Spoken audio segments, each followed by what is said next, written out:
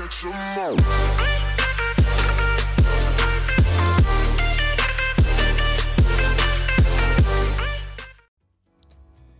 Okay, you guys, listen. I'm sorry. This is the third video today. I promise I will leave you guys alone for a while after this. Well, maybe like a day or two. Um, but this is part two of the Opposites Attract deck, which I'm actually having fun running. Uh, I want to explain this deck a little bit more before we get into two matches. We're, we're gonna watch two matches, okay? Uh, I left a full guide in the description below. It's a link to the subreddit. Please, if you're not part of the Reddit community, please join the Reddit community. There is a plethora of information in regards to Pokemon Duel. Just so much stuff. Okay, so please, please join in. Uh, but anyway, let's talk about the deck, the figures that I have, and the plates that I have. And this is the beauty right here.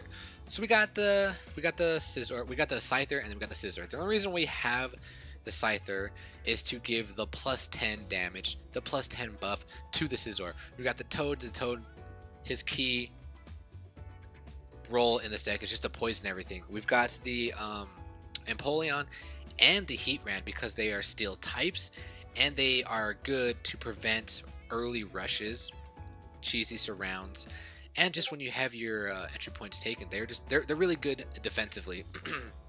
Crobat to add that additional negative 20 damage on top of the bonds that are already po- already poisoned. So you guys know, we all know who the number one one-two punch is. That's Koko and Zap.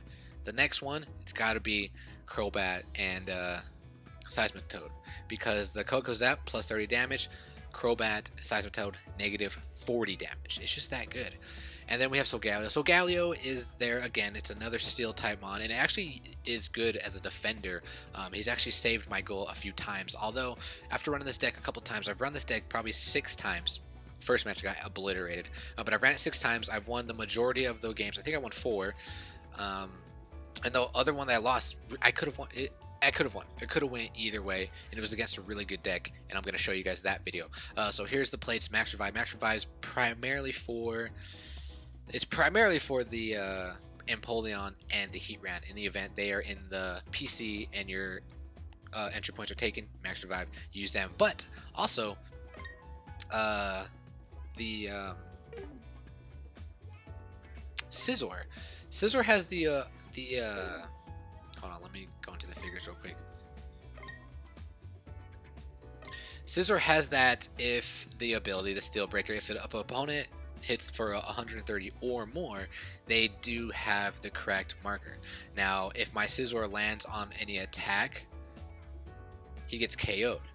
And if they have that marker, I can, you know, try to revenge max revive and attack them. I don't take damage if I hit my white and they get KO'd instead. That's that's just another option. But primarily you want to use max revive specifically for uh, Empoleon and Heatran. Um, go back to the plates. Steel energy, steel energy, plus 10 damage on my highest attack. Poison Blade. Poison Blade's kind of interchangeable. I just use Poison Blade, one, for fun, and two, uh, just to utilize another mon that causes poison. So it's not just Seismitoad that causes poison. Gold Block, Gold Block, and Metal Coat. Metal Coat, Metal Coat, Metal Coat is so useful here uh, because if you use it on my Scizor, until the end of the duel, battle opponents of the Pokemon you choose or the Pokemon that evolved from it have the effects of their abilities that increase or decrease attack damage nullified. So this means when Koko attacks into me, he doesn't get plus 30. When Null attacks into me, I don't get negative. I don't get half the damage. It's super useful, and this adds plus 10 to my Scizor. So this plus the um, Steel Energy, my Scizor hits for 120, 80, and when I'm when the rest of the mons are poisoned and um, Crobat is on the on the field, negative 40 is going to cripple any mon in the meta. But okay, enough of me ranting. I think that's a good explanation of the deck. Let's jump into the matches that I've saved. First one, uh, two seven six, seven seven seven, one two two. I'm going to try and commentate this as best I can because everything moves fast, but I just wanted to take a look at the deck that I'm going against. We have double Lunala, okay? Double Lunala, and we have a Psychic deck, so I'm pretty much outmatched here. So we're just going to watch how everything goes. I'm going to play a little defensive. I want to set the matches up, brings up Solgaleo, and I bring up my Heatran because you know what Heatran does. I, we're, we're basically using him primarily for his, uh, his purple attack. And he brings up the OA, which is fine. I am glad to put uh, Seismitoad to match him. Uh, I was scared. I didn't want that Lunala to attack me, so I did that. And I wasn't afraid of Lunala taking my entry point because what I'm going to do here is I'm going to X-Speed and we're going to go straight after that Lunala. And boom, hit a fortunate roll. Very fortunate roll there. And plus, because of the steel energy, I would have taken him out even if he if he landed on his white. So now I take this opportunity. Let's Metal Coat. Let's get that Scizor on the board. My Scizor's plus 20 now. My opponent brings up, I was like, I'm not afraid. I have I have good matches with Seismitoad and Scizor. So he decides to take my entry point and attacks my Scizor, but is unaware of the Metal Coat. GG boys to your uh, knowledge. And we double Lunalas are both gone. However, my opponent does have the max revive, and I was like, man, if we could have just had both Lunalas gone, things would have been good. Um, I don't like the Lunala and Solgaleo matchup, so I'm like, I am getting out of there. I don't want that. I would rather attack with my, uh, I'd rather my uh, Heatran be there. But my opponent attacks and uh, get a get a good roll there. But he, I end up getting the dodge. But guess what? This man is negative 40 now. Look at that. 97. A DOA at 97. That is incredible. And Seismitoad always, I mean, when you're running Seismitoad, you run the risk of your own Mons getting uh, a miss, but it didn't happen here. And I'm okay with this matchup right here because I hit for 120, he hits for 97. I'm okay with this roll. Hit the dodge. He's going to re-roll me. All I got to do is hit my white, and that's pretty good. I mean, I have a 67% of hitting a neutral turn, but I get the bullet punch, man. Wasn't too excited about that. And here I did the cardinal rule we don't do, the revenge max revive, and put it there again because I was okay with the risk of him attacking again and me hitting away. I'm like, okay, this is good. Now just hit it again for me, or at least hit the dodge. And it happened, and I shouldn't have done it. But like I said, I was okay with running that risk at that point. Uh, opponent brings on Lunala, uh, and I hate the Lunala, but I was like, I am gonna, we're gonna get rid of this Lunala. We're gonna status condition it. Roll a miss. Uh, does does not feel good. Does not feel good at all. But now Suga or Solgaleo is uh, poison, and I have to take the entry point, and now I just have to... Things have to go in my favor. He doesn't attack me, which is fine, and now I, I can play a little more defensively. And, uh, yeah, because my Crobat is gone, now he hits for plus 10 than what he was previously hitting, so he's for 117. But now, uh, Heatran's on the board, or on the bench, and now I can freely use my ability to go after this Lunala. Hit the fortune roll there, but he also hits his purple. We're going to do it again. Got it. Got it.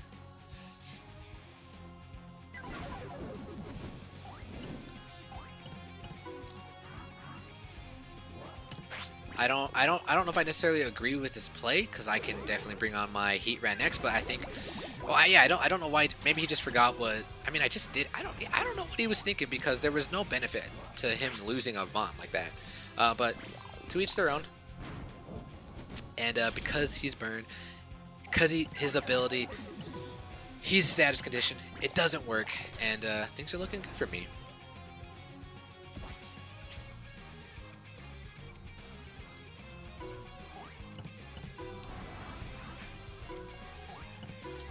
I really wanted to attack the Lunala, but for some reason I got scared. And uh, I get a fortunate roll here. But then I get the dodge. This DOA was annoying me this game. I think he re-rolls me, and I'm pretty sure I hit the white this time. Yeah, too bad. Well, I guess it, yeah, there's he couldn't have got the the correct marker, but it doesn't matter. DOA is gone. Look at that, just gone. Take this entry point and uh, get rid of his Solgaleo. But he, he lands the same attack, so now I'm gone as well. And now he's got both Lunalas on the board, and I am not liking this at all.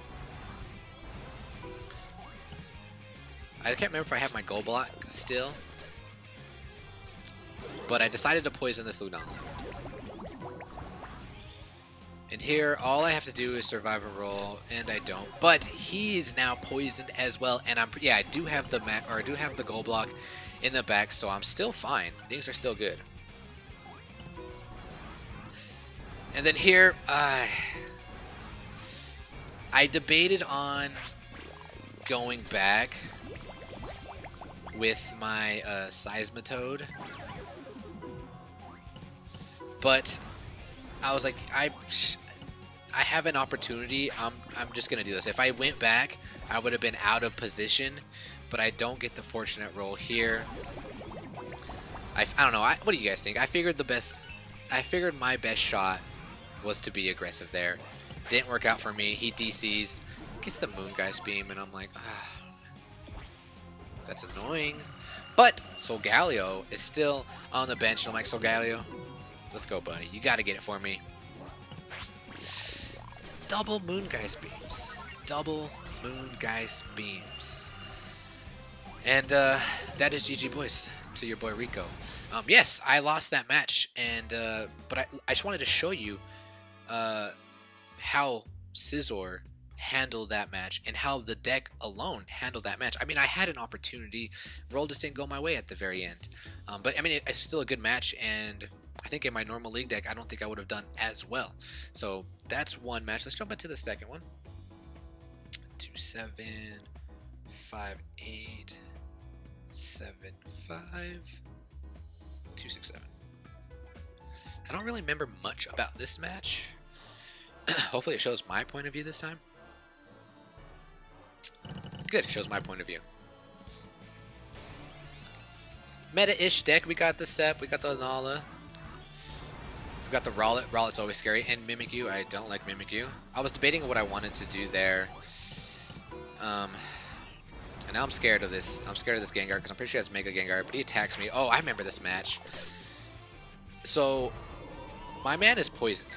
He is negative 40. So first thing I'm going to do is just protect the entry point. If he wants us to top over, he gets surrounded. I decide to attack here because this Gengar is negative 40. I'm not worried about what comes on the, the left side. I'm like, we just got to take off this Gengar because he hits for 60.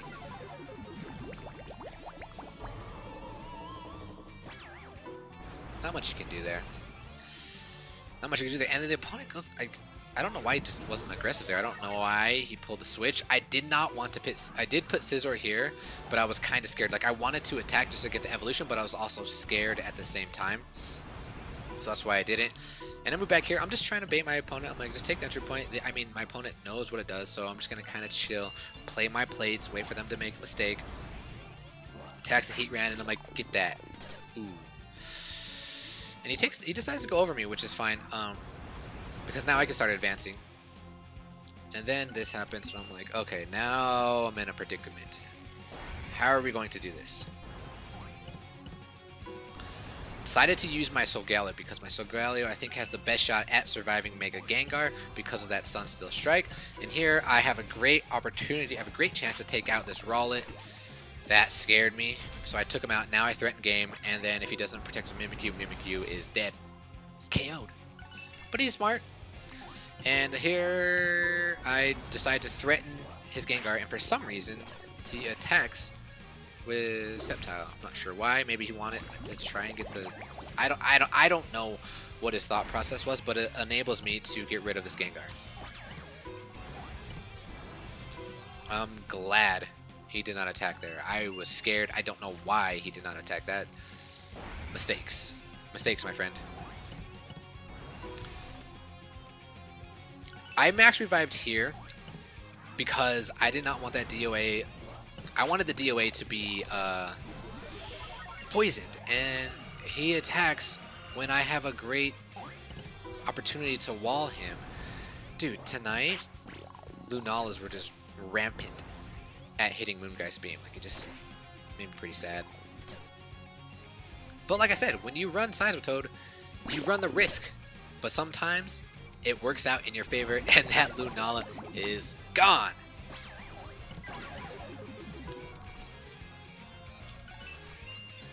Oh, XP tier because I want to get the disguise off of uh, can't think of his name, Mimikyu, But we get a neutral roll there, and I was pretty upset. My opponent wants the X speed of his own, wants to go after this, and I'm like, please, please, please, please, please.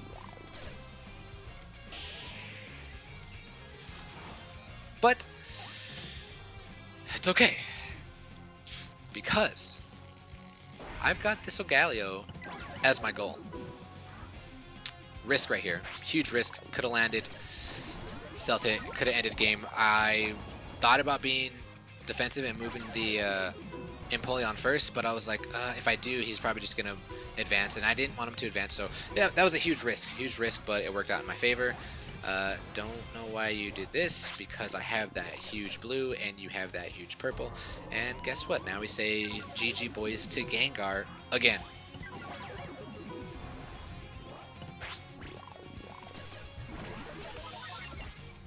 Either way, he would have got surrounded next turn.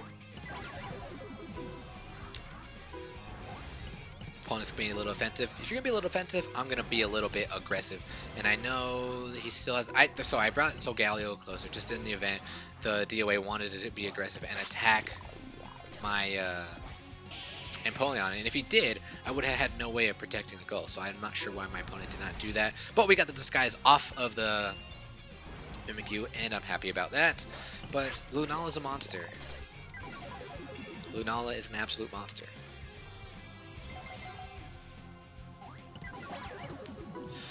So, uh, yeah, I need to survive this roll. I need you to survive this roll for me. Thank you, Steel Energy. Like I said, he's come through for me. So now it's just time I'm like, alright, It's time for Scizor to shine. And I'm like, this is the best opportunity. Let's go. Let's go. And we got a nice win with Scizor. My opponent, yeah, I just, I don't know. I'm pretty, I think I win this roll. Because it's on strike, like I said, he saves me. Can you guys see McKenna in the back? She's kind of just chilling on the couch like I said, she's feeling a little better, so uh, good. But anyway, we win, and that is GG Boys. So I just wanted to show you guys that deck. I know there's still a lot of testing I need to do. I've only played uh, six matches. I want to play at least 10 to 15 things that I, I, I don't know if I told you guys earlier, but i am thinking about putting Gengar in for Solgaleo. And if I do, I might add the uh, the Phantom Energy. So I'd get rid of the Poison Blade, and I don't know if I really want to get rid of the X Speed, but I don't know. Something, something to think about. What do you guys think? Uh, any questions about this deck? What to put in instead of, of like a figure if you don't have, or a different plate? Let me know your suggestions in the comments below. But we're gonna cut it there. Like I said, I gave you guys three videos today. I hope you enjoyed all of them. I'm gonna take a break for at least a day, maybe, unless something good happens. But until then, peace.